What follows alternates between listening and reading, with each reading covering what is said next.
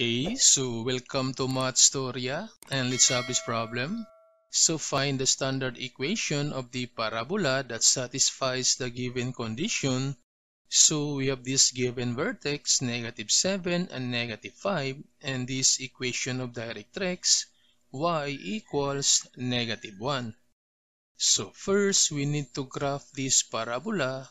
Then from the given vertex, this one is x, and this one is y.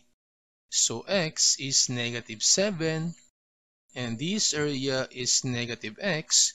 So we have negative 1, negative 2, negative 3, negative 4, negative 5, negative 6, then negative 7. Then y is negative 5, so this area is for negative y. So we have negative 1, negative 2, negative 3, negative 4, then negative 5. So this is now the uh, coordinate of the vertex. So this point is the vertex. And this equation of directrix y equals negative 1.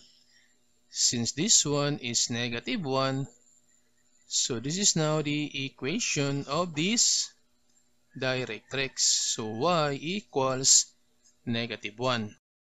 Then to graph this parabola, since this equation of directrix always at the back of this parabola, so therefore the parabola opens downward. So directrix always at the back of this parabola. Then to find the standard equation, so if the equation of parabola is x squared, so the graph opens upward or downward. But if the equation that's y squared, so the graph opens to the left or to the right. So this one is positive 4p, then negative 4p. This one is negative 4p and positive 4p. Since the graph of the parabola opens downwards, so therefore, standard equation is x squared. So this is now the formula. We have x minus h squared then equals, since downward, so that's negative 4p, so minus 4p or negative 4p times y minus k. Then from the given vertex, this one is h and this one is k. But still, we need to solve for p. Since p is the distance from vertex to directrix, so therefore we need to find the distance from this vertex to this directrix. So we're going to use the counting method. So in counting, start counting on the next point. So from this point, so start counting on the next point, we have 1, 2, 3, 4.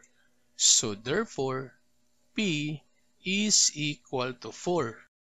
Since we have now the value of P, so we can solve now the standard equation of parabola. So using this formula, so we have x, since h is negative 7, so this one is plus 7, then squared equals negative 4 times p, p is 4, then times y, since k is negative 5, so this one is plus 5. Then simplify, so we have now x plus 7, then to the power 2 equals, so this negative 4 times 4, that's negative 16. 10 times y plus 5. So this is now the standard equation of this parabola.